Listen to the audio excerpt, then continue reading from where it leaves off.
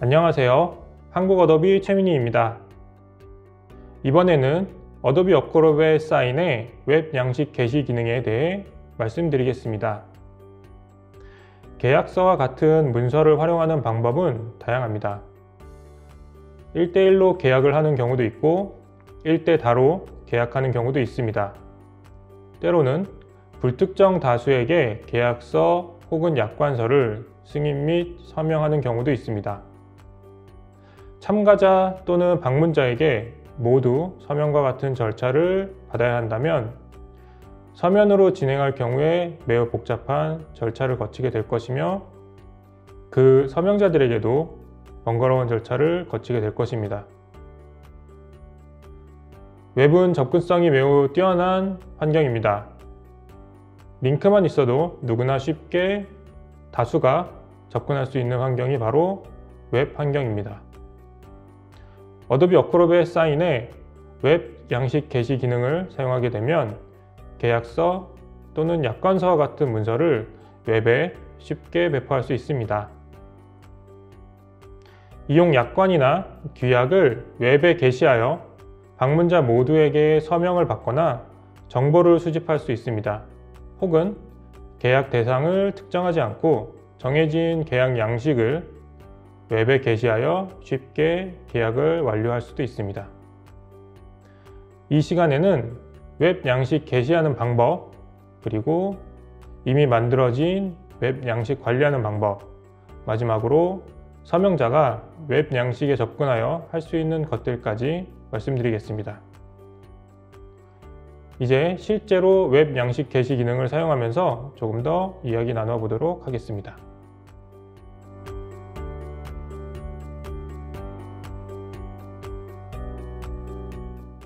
Adobe Acrobat Sign 대시보드에 접속하고 로그인합니다.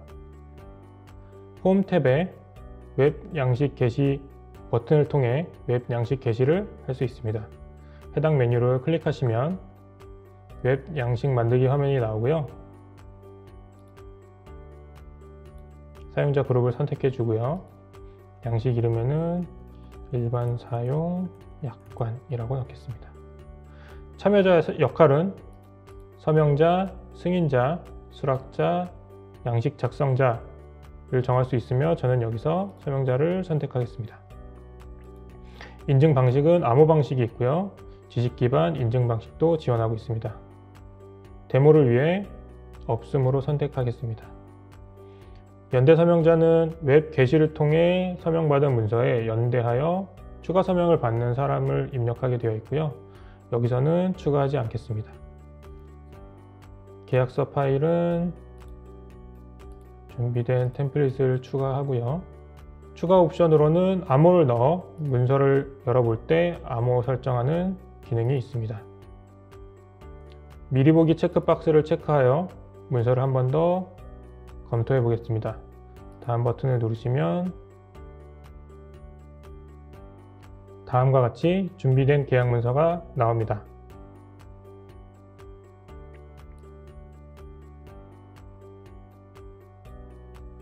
문서에는 준비되어 있는 이름, 회사, 서명 필드가 있는 것을 확인할 수 있고요. 추가로 입력 필드를 더 넣을 수도 있습니다. 만들기를 완료하면 웹 양식 게시가 완료되고요. 다음과 같은 화면으로 넘어가게 되면 모두 완료가 된 것입니다.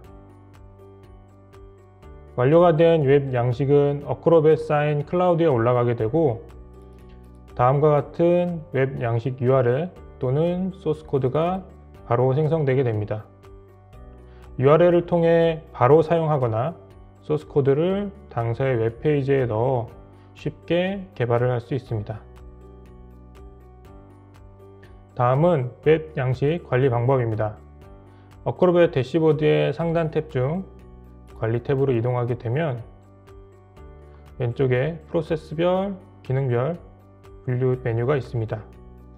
아래 웹 양식 메뉴로 이동하면 이미 작성한 웹 양식을 확인하고 관리할 수 있습니다.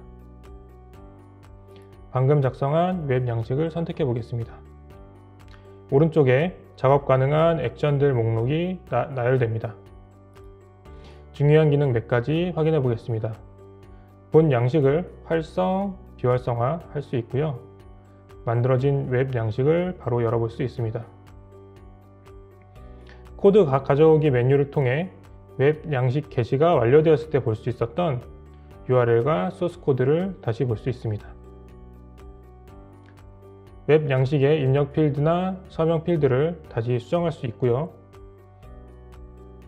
완료, 완료된 계약에 입력된 데이터를 CSV 형식으로 다운받을 수 있습니다. 공유를 하거나 소유자를 바꿀 수 있고 웹 양식 숨기기를 통해 목록으로부터 웹 양식을 숨길 수 있습니다. 단, 숨기기를 하더라도 웹 양식은 정상 동작을 하니 웹 양식을 비활성화 싶으시면 상태를 비활성화하여 웹 양식이 비활성화 시켜야지만 비활성화 되게 됩니다. 다음은 실제 서명자가 웹 양식에 접근하여 서명하는 과정입니다. 만들어진 웹 양식의 URL로 바로 접근하게 되면 다음과 같은 계약 문서를 바로 볼 수 있습니다. 어도비의 사용 약관을 확인해 주시고요. 문서를 쭉 검토 후 입력 필드에 맞는 정보를 넣어주시면 됩니다. 회사명을 넣어주시고요. 서명을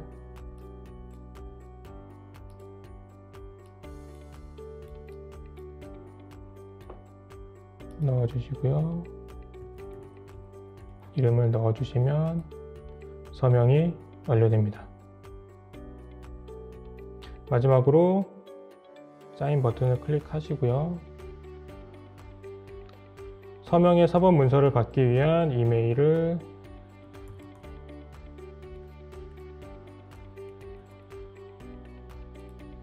입력하시면 이메일로 서명 사본이 전달되고요. 마찬가지로 바로 다운받아 보관할 수 있습니다.